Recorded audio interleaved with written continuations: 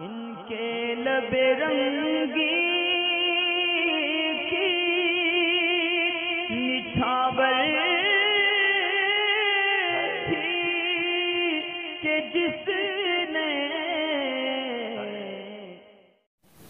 शाबान खान हैं यूपी से। ये पूछते हैं कि इनके जो दाढ़ी के बाल हैं, वो ज़्यादा टूटते हैं, वज़ू वगैरह करते हुए या चेहरा वगैरह धोते हुए।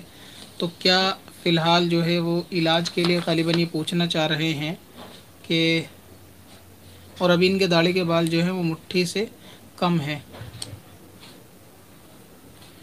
सवाल यह है कि दाढ़ी के बाल टूट रहे हैं, बहुत वज़ू करने में, नहाने में भी एक एक मुश्त से कम है दाढ़ी के बाल मेरे। क्या मैं दाढ़ी काट सकता हूँ? यानी इनका सवाल गालिबन ये है कि अभी इनकी दाढ़ी जो है एक मुश्त से कम है। एक मुश्त यानी चार उंगल की लेंथ की बराबर इनकी दाढ़ी अभी नहीं है और इनके बाल भी टूटते हैं तो क्या इस सूरत में दाढ़ी को कटवाया जा सकता है?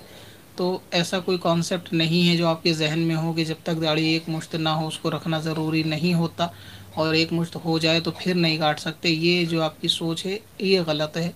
दाढ़ी को बढ़ते रहना देना चाहिए। कम से कम जो है वो चार उंगल की, उसमें जो लेंथ मुकम्मल उसकी लंबाई हो जानी चाहिए। अब अगर ये कि आपकी दाढ़ी के बाल टूटते हैं वज़ू में या उसल में निकलते हैं ज़्यादा तो आपको उसका इलाज कराना चाहिए। कोई ऐसी दवा, हकीम वगैरह के पास लेनी चाहिए। मेडिकल पे गालिबा अंडे का जो तेल ऑयल आता है, उसको लगाने से भी फ़ायदा होता है। तो आप किसी तबीब के मशवरे से उसको जो है वो लगाएँ तो इन ताला फ़ायदा होगा। और अगर किसी दूसरी बीमारी की वजह से ये बाल झड़ रहे हैं तो आप उसका इलाज कराएँ। ये कि दाढ़ी अगर एक मुश्त से कम हो तो उसको काट सकते हैं। ऐसा जो ये तरीका है यानी सोच है ये गलत है ऐसा नहीं कर सकते।